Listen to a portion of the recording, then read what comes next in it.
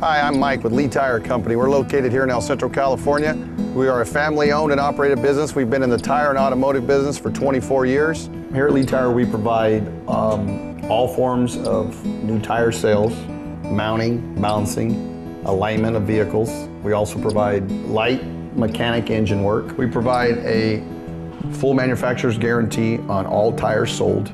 Um, we also have an in-house service agreement which can cover you across the United States for any automotive repair that's done. One of the things that, that, that we pride ourselves on and that, that I, I feel really good about is if when you come in, it's always the same people. We don't have a huge employee turnover.